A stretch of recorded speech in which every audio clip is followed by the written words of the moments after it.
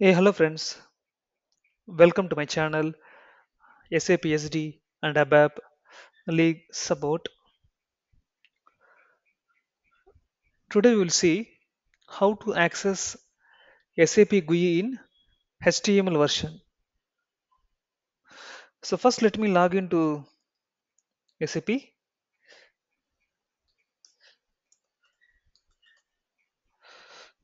So if the users are continuously using that uh, accessing SAP GUI in HTML version and uh, they are used to that and uh, they are not that much comfortable in GUI version.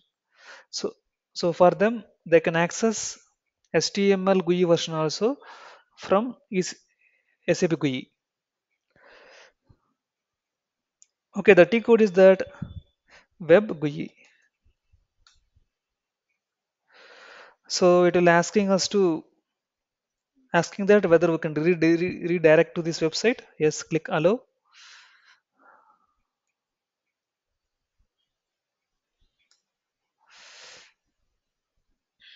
And if you can, see here, system is asking to enter that uh, username password.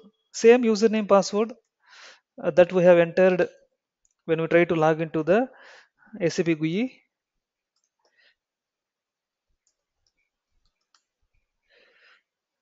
And you see, HTML version of SAP GUI has been opened. That means in the browser, SAP GUI has been opened and we can access any T codes.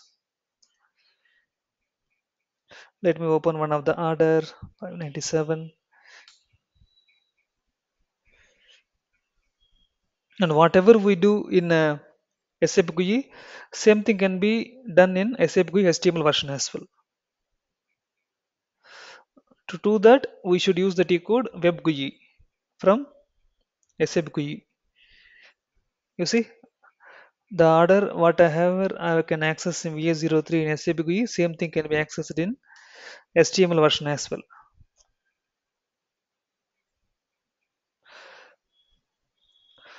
Fine, so the T code here is that web GUI. Okay friends, we can catch up in the next video.